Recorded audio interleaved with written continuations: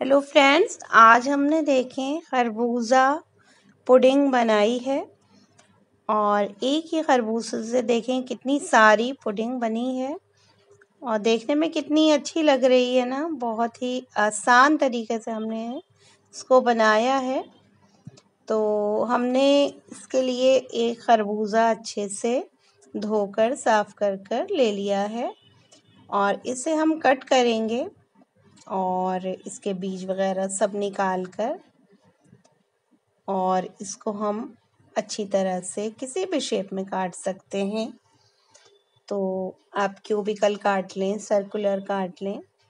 तो मैंने एक पैन ले लिया है, आप कोई भगोना कढ़ाई कुछ भी ले सकते हैं।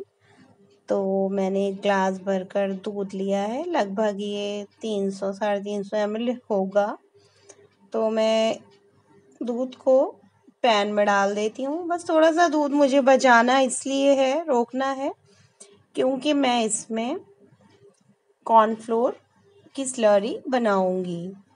तो मैंने एक बोल ले लिया है और उसमें थोड़ा सा मैं एक बड़ा चम्मच दूध डाल दूँगी और उसके अंदर मैं एक बड़ा चम्मच भरकर कॉर्नफ्लोर डाल देती हूँ और इसे अच्छी तरह से मिक्स कर लेंगे।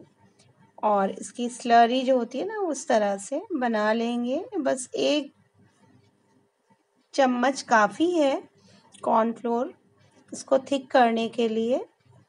तो अच्छे से घुल गया है।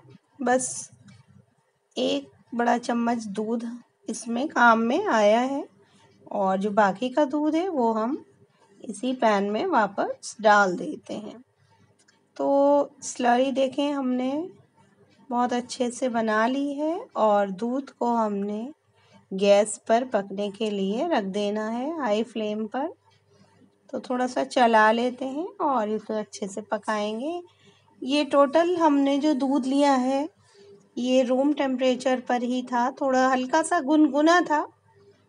तो अब यहाँ पर ये दूध पकते हुए पाँच मिनट हो चुके हैं तो हम ये स्लरी इसमें ऐड करेंगे, लेकिन हमें बहुत ध्यान रखना है कि हल्के हल्के जब हम स्लरी डालें तो फ़ौर हम स्पून चलाते रहें और स्पून को बिल्कुल ना रोकें, वरना इसमें गांठें पड़ सकती हैं।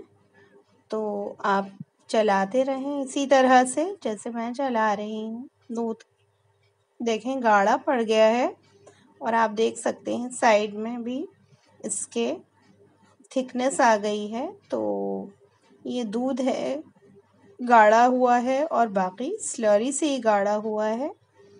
तो टोटल मैंने इसे 10 से 12 मिनट पकाकर इसमें अपने टेस्ट के हिसाब से चीनी डाल दी है। चीनी आप अपने टेस्ट के हिसाब से डालें, लेकिन पुडिंग वगैरह में बहुत ज़्यादा चीनी अच्छी नहीं लगती है तो मैंने तीन छोटे चम्मच चीनी डाली है। मैं लाइट सा ही मीठा रखूँगी। तो देखें ये चलाते हुए हम पका रहे हैं। इस वक्त फ्लेम मीडियम है, क्योंकि स्लरी हमारी अच्छे से इसमें घुल गई है। तो हमने फ्लेम मीडियम कर दिया है और अभी भी हम इसे चलाते हुए पकाएँगे। तो आप देख सकते हैं थिकनेस और हमने गैस के फ्लेम से उतार लिया है और अब इसे हल्का सा मैंने फ्रीज़र में ठंडा कर लिया है और बोल में इसे हम डाल देंगे इस तरह से। तो आप देख सकते हैं, काफ़ी अच्छा स्मूथ सा इसका टेक्सचर बना है। तो खाने में भी बहुत अच्छी लगती है ये, आप ज़रूर बनाइएगा इस तरह से। तो ये जो खरबूजा था मैंने इस शेप में काट लिया है। आप जितना खरबूजा यूज़ करना चाहें, उतना ही डालिएगा, क्योंकि इसमें बहुत ज़्यादा क्वांटिटी में खरबूजा नहीं डालिएगा, वरना अच्छा नहीं लगेगा। पुडिंग का मज़ा नहीं आएगा। तो मैं इसको चलाते हुए सब मिला देती हूँ खरबूजे को और इसे अच्छा चिल सर्व कीजिएगा, तभी मज़ा आएगा इसको खाने का। तो आप पहले से बनाकर फ्रिज में रख दीजिएगा, तभी अच्छे से ठंडा हो पाएगा। तो देखें, बिल्कुल तैयार है हमारी पुडिंग लग रही है ना, बहुत अच्छी, मज़ेदार क्रीमी सी देखें।